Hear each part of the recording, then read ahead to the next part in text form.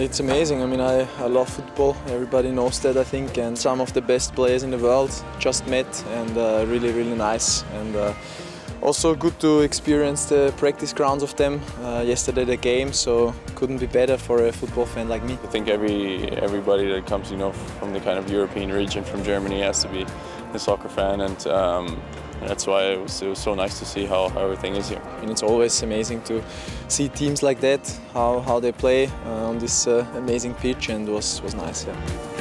It was very nice, obviously, to see how they practice, how they work as well, and to meet of the players as well was was very exciting. And you know, it's it's nice to see. This is one of the best clubs in the world, and um, to see how they function, to see how everything is here in the practice grounds as well is is, is amazing.